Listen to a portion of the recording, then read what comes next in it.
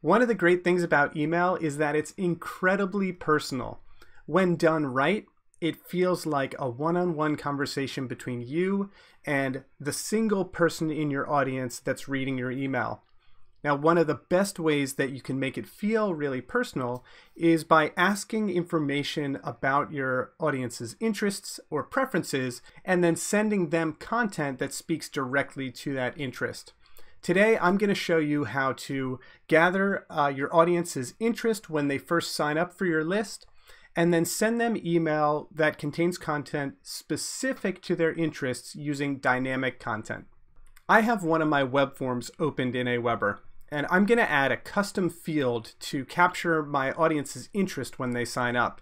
If you don't already have a custom field for interest, you can create a new one, but I already have one, so I'm just going to add that.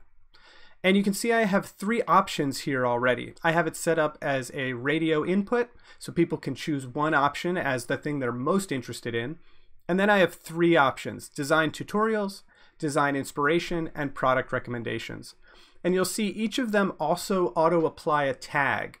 And that's really important because we're going to be using those tags to send uh, dynamic content in an email. I'll show you how to add a new option. Let's say I wanted to add design tips. I can add the label design tips. And then I want to add a tag that gets applied whenever somebody selects that when they sign up. So I'm going to call it interest tips. Oops. And then I'll hit the plus button. And now you can see I have design tips on my list and it's also in the list here. So now if someone signs up and they select that button, they'll be added to my list with the tag design tips. I'll show you an example of what that looks like. You can see this subscriber signed up for the list and chose product recommendations, so they have the tag interest recommendations. Now let's see how we use this in a message to send personalized content using dynamic content. This is my welcome message that people get when they sign up for the list. I, uh, I introduce myself to them. I say hi using their uh, subscriber name if I have it. And if not, I uh, instead put in friend. Then uh, I, I do a little introduction. And then I, I offer them something interesting based on what they chose. And here's where dynamic content gets really interesting. I'm using these if statements to show content based on the tags my subscriber has. So here you can see if interest recommendations in subscriber tags, that means if the person has the interest recommendations tag, I'm going to show this block. If they have the interest tutorials tag, I'm going to show this block. And if they have the interest uh, inspiration tag, I'm going to show this block that includes both text and a link preview of the post. Let's see what this actually looks like in the email. So I'm going to go to preview and test.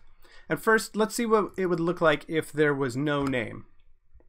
So instead of a name, it's just going to fall back gracefully to hi friend for anyone who I don't have a name for. But now let's look at what this will look like for people with different interests. So first, interest uh, recommendations. You can see here is the chunk of content recommending the Apple Pencil cap, interest tutorials, make a eye-popping 3D script in Procreate, interest, inspiration. Here you see the recommendation of the Phillies logo project and the example post that links through to more information about the project.